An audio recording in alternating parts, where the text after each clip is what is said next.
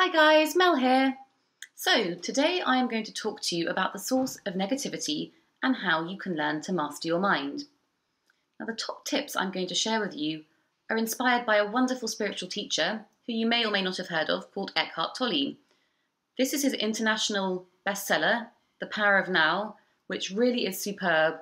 And if you haven't read it, I strongly advise you to go out and buy yourself a cheap copy off Amazon because it's a wonderful testament to how you can master your mind, bring yourself more balance, and really live in the now. So, first, I'm going to explain to you where negativity really comes from, and Eckhart Tolle explains this really, really well. So, I'm going to read you straight from the book so it has the same impact on you that it has on me. All negativity is caused by an accumulation of psychological time and denial of the present unease, anxiety, tension, stress, worry. These are all forms of fear, and they are caused by too much future and not enough presence.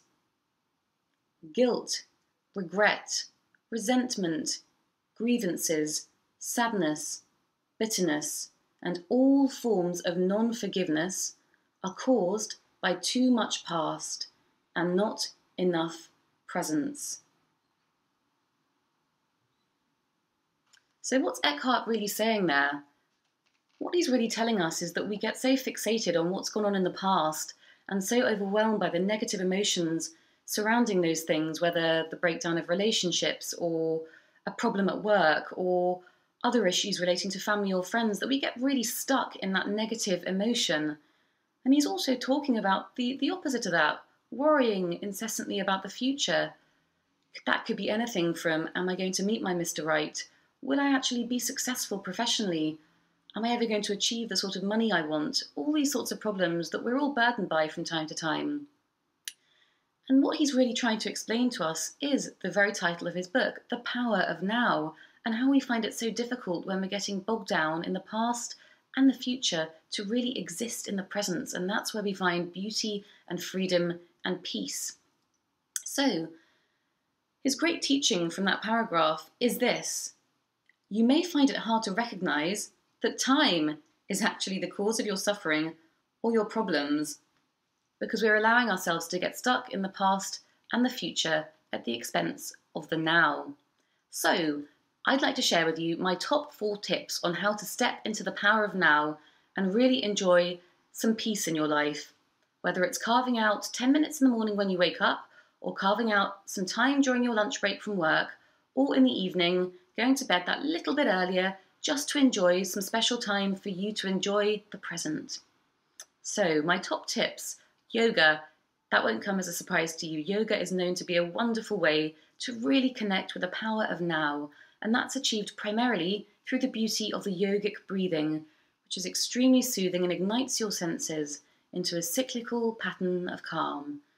So if you haven't tried yoga or you have and it's fallen by the wayside, try and try and carve out some time either to do your own practice for 10 minutes one morning before work or to maybe go to a class on your way back from work and see how that makes you feel. My second top tip sounds like a boring one, but I can assure you it really isn't, and that's reading. Now, I was surprised to discover recently by an expert that reading gives us a greater sense of achievement than money. Now, that's because it's teaching us new things and it's allowing us to step out of the present into a different kind of reality. It's really escapist and it's wonderful for the soul. Okay, so whether it's ordering the power of the now and learning more about the spiritual world and how you can bring yourself balance, or just picking up a book that's been no doubt on your bookshelf for years that you haven't had the time to read, just carve out some time, even 15 minutes in the morning before you go to work or just before bed, and enjoy that special you time and just observe how it makes you feel. My number three top tip is getting out into nature.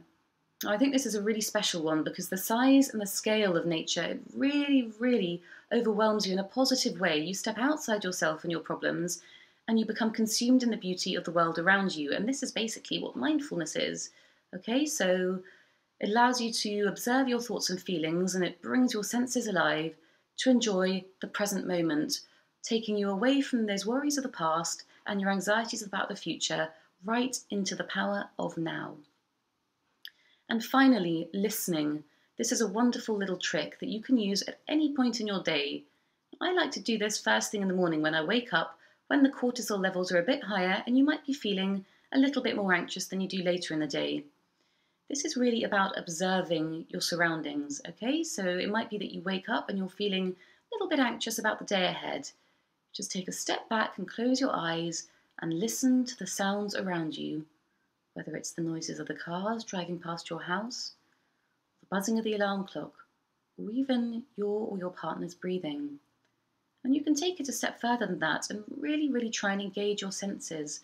Enjoy what you can touch, whether it's observing how the duvet feels between your fingers, or enjoying the lights and the textures, the way that the sun's falling through the windows. It really, really calms your thought processes and enjoys and helps you to enjoy the power of the now. So, I hope that those top tips will be something that you can apply over this weekend, perhaps, and going into your new week next week. Just try them out and see how they enhance your day and give you back that sense of control and freedom in the moment that you might sometimes struggle to come by when you're worrying about the past or the future. Have a lovely weekend.